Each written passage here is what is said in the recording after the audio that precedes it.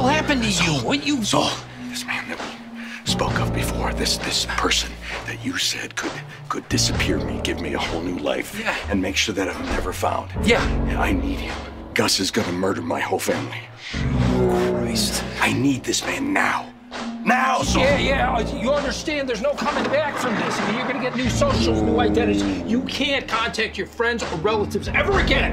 All right, I, yes, yes, I understand. How are you gonna sell this to that wife of yours and your teenage son? I have got no choice. You're wanted by some pretty scary individuals, not to mention the law. You're a high risk client. You're gonna need the deluxe service. It's gonna cost you. How much? 125 grand, but you got four people to vanish. It's gonna be at least half a million. I've got the money. Now, come on, please. Here. This this is a vacuum cleaner repair company.